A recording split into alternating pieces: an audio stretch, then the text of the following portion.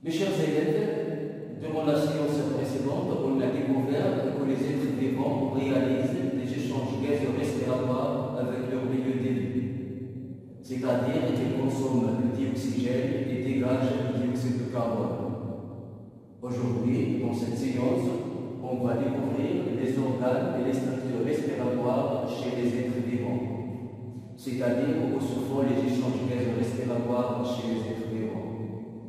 On commence par découvrir les organes respiratoires chez l'homme. On observe l'animation suivante. On constate que l'air inspiré par les narines passe dans la trachée, puis les bronches et les bronchioles pour arriver dans les alvéoles pulmonaires. Et pendant l'expiration, l'air expiré suit le chemin inverse, c'est-à-dire qu'il sort des alvéoles pulmonaires par les bronchioles, puis les bronches, puis la trachée, puis il est expiré par les narines. Ces voies, on les appelle les voies respiratoires, c'est-à-dire les voies dans lesquelles transite l'air inspiré et l'air expiré. Mes chers élèves, les alvéoles pulmonaires possèdent une membrane rénale. Elles sont entourées par des capillaires sanguins, comme le montre ce schéma. Cette animation montre le niveau où se font les échanges gaz-respiratoires chez l'homme. En effet, l'air inspiré, riche en dioxygène, arrive dans les alvéoles pulmonaires. Dans les alvéoles pulmonaires, arrive le sang qui est riche en dioxyde de carbone. L'alvéole pulmonaire possède une paroi rénale. Cette paroi permet les échanges gazeux respiratoires, c'est-à-dire le passage du dioxyde de carbone du sang vers l'air alvéolaire et le passage de l'oxygène de l'air alvéolaire vers le sang.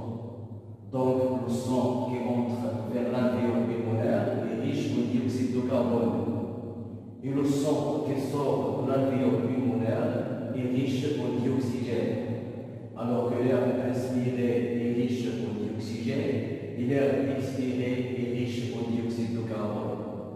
Donc, en récapitulation, chers élèves, les échanges gazeux respiratoires chez l'homme se font au niveau des alvéoles pulmonaires, entre l'air et le sang. Il s'agit d'une respiration de type pulmonaire chez l'homme. Et maintenant, on va découvrir les organes et les structures respiratoires chez l'escargot.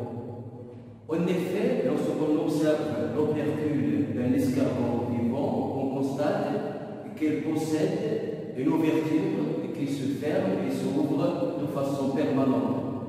Si on place de la mousse sur cette ouverture, on constate la formation des bulles d'air. Donc cette ouverture, c'est une ouverture respiratoire et qui permet l'inspiration et l'expiration de l'air on la nomme un plonosome. Donc, l'escargot possède un plonosome par lequel il inspire et expire de l'air. Lorsqu'on réalise la dissection d'un escargot, c'est-à-dire on enlève la coquille avec un ciseau, on constate que le plonosome débouche dans un sac richement vascularisé que ce qui se gonfle et se dégonfle de façon rythmique. Donc le chromosome débouche dans ce sac. Ce sac est appelé le manteau. Le manteau est richement vascularisé et dans ce manteau se réalisent des échanges gazeux respiratoires entre l'air et le sang. Donc le chromosome débouche dans manteau qui est très vascularisé, dans lequel se font les échanges gazeux respiratoires entre l'air et le sang. L'homondo, c'est le poumon de l'escargot. Et maintenant, on va découvrir les organes et les structures respiratoires chez le criquet. Lorsqu'on observe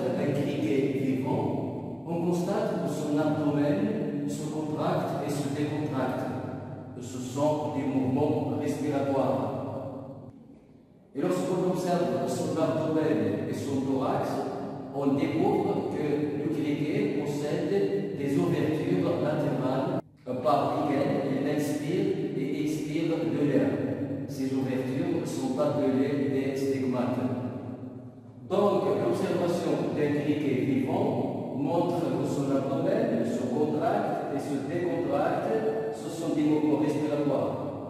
Et le thorax du criquet portent des stigmates par lesquels le criquet inspire et expire de l'air.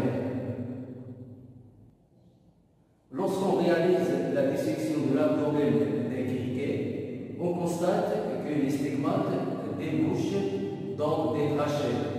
Ces trachées distribuent l'air partout dans les organes du criquet.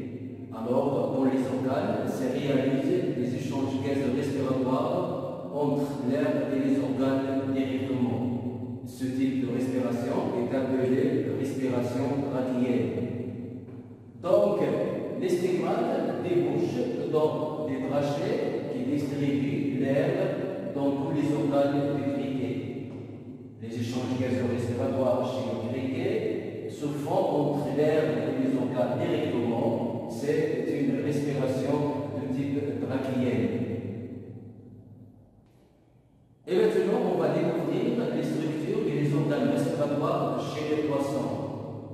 Lorsqu'on observe un poisson vivant dans un aquarium, on constate qu'il ouvre et ferme la bouche et ouvre les ouées et les ferme de façon continue. Ce sont des mouvements respiratoires chez le poisson. En effet, le poisson, lorsqu'il ouvre la bouche, il crée, il avale dans l'eau,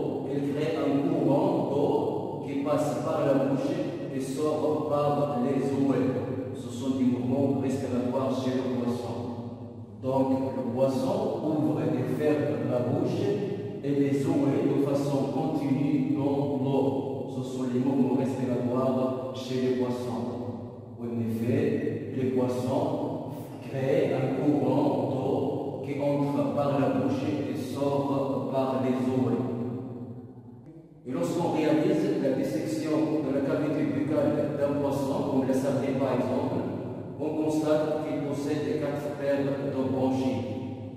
Les branchies sont toujours élandées par l'eau, elles sont émergées dans le courant qui est créé par le poisson et qui entre par la bouche et sort par les ouées. Les branchies du poisson sont très vascularisées, c'est-à-dire qu'ils contiennent des vaisseaux sanguins. Ces branchies sont constituées par des filaments branchiaux.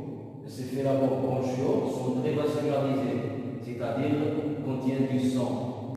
Et dans les filaments branchiaux se réalisent des échanges gazo-respiratoires entre le sang et l'eau. Il s'agit d'une respiration de type bronchial.